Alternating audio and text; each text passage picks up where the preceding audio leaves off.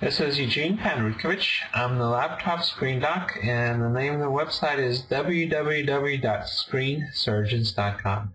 Today we have a eMachines E625 laptop computer on which we're going to replace a cracked laptop screen.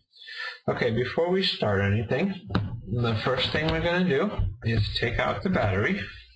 You slide this lever here and lift up the battery like this. So please take out the battery before you start work. Okay, in order to remove this screen and replace it on this laptop, you need to remove the plastic frame around the screen, also known as the bezel, and then you get to the screen. To remove the plastic frame, there are some screws that are hidden by some rubber feet. And so we use an X-Acto knife to remove the rubber feet to expose the screws.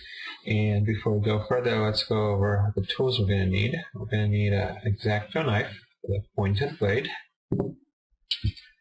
an electronics screwdriver with a PH1 bit, and PH0 bit. And we might not need the smaller bits, but it's good to have it just in case.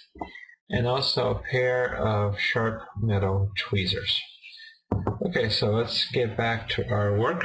We remove the rubber feet. Just be careful with the X-Acto knife. Make sure the adhesive stays on like so.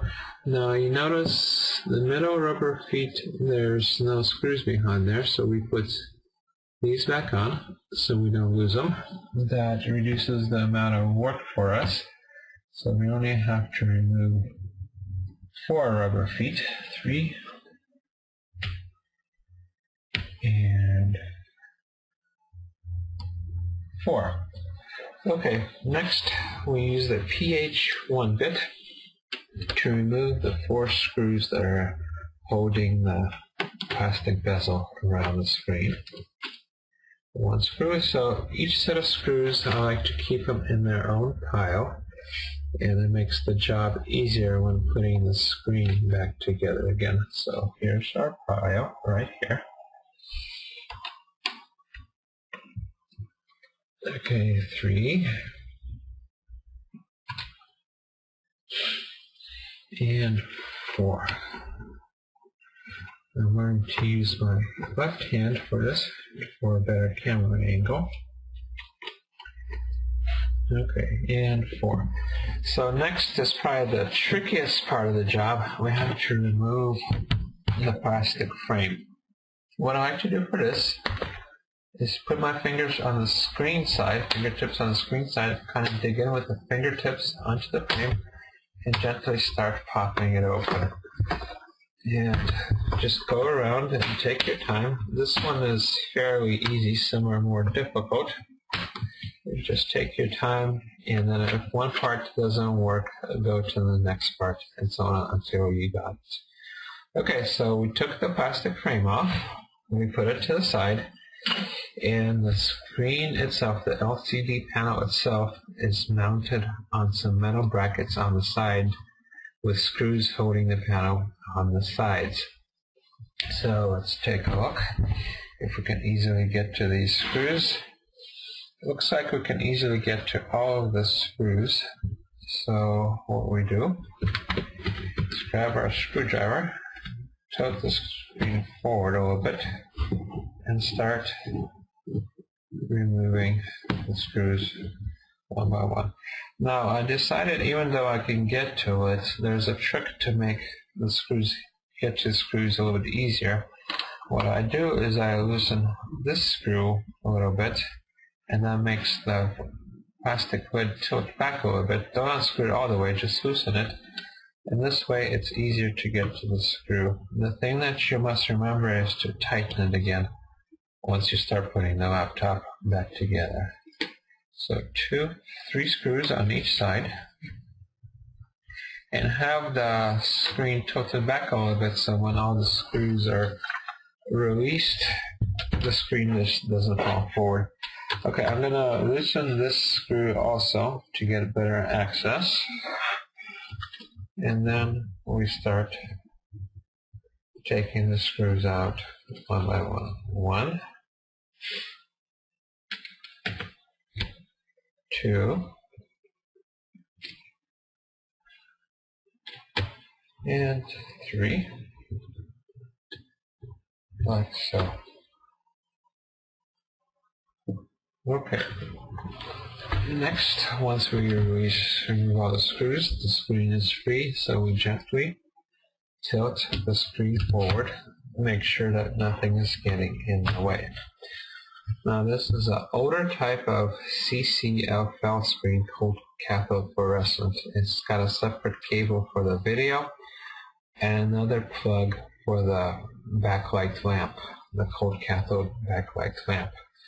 So we have to remove both those connectors. First we remove the video connector. There's a piece of adhesive tape. We use our X-Acto knife to lift it up. And then we lift up the tape like so.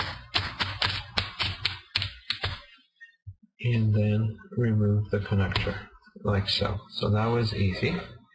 And now we have to remove the plug for the backlight. So the cable is trapped behind this inverter circuit board, so we have to loosen up the inverter circuit board to get to the cable. Actually, I have to remove it.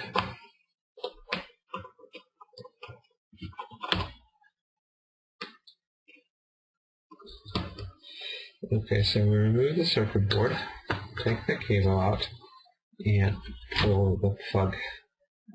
Okay, so like so. Alright, the screen is released. I'm going to make some comments on the screen. This is a CCFL screen. You may open up your E625 instead of CCFL screen, you'll have a LED screen. And the way you can tell is it's not, instead of having two connectors down here and here, it's just going to have one connector here. And actually, it's easier than a CCFL screen because it's just one connector. And you pretty much do the same thing as for this connector. You lift up the tape and just pull the connector out, and that's it. Okay, and um, let's take a look at this screen. Like I said, it's a 15.6 inch CCFL screen. Fairly common, shouldn't have any trouble finding it on Google or eBay. Or if you want, we also sell these screens. We can provide it to you also. Just go to screensurgeons.com and click on Buy Screen. Okay, let's take a look at the part number, see if we can get a good focus. It's B156XW01. That's all you need to know, B156XW01. Now, once you get your screen, once, once you get your screen in, just do everything backward and put it in. Now with this laptop, what I would do is I would take out the screen first and check to make sure if it's an LED screen or a CCFL screen before you order it. So to make sure. Okay, the other thing to note, it's a, uh, it's a glossy finish, as most screens are. And uh, so this is called a 15.6 inch CCFL screen and the other type is called a 15.6 inch LED screen. So when you're ready to put it back in, you reverse the procedure exactly as we said. So put plug the connector in here. If you want, you can still hide the wire behind, or you can just leave it dangling out front. Put the screen in. Make sure you tighten these screws, and then put the bezel on and it should be ready to go, no problem. And uh, that's it. My name is Eugene Panrutkovich. I'm the laptop screen doc, and the name of the website is www.screensurgeons.com. Thank you very much.